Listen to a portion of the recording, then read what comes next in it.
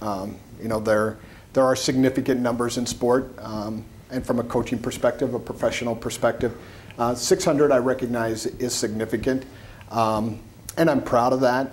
Um, but you know, we have there's always another game to be mm-hmm. played, and that's kind of where we're at right now, and that's where my focus is at.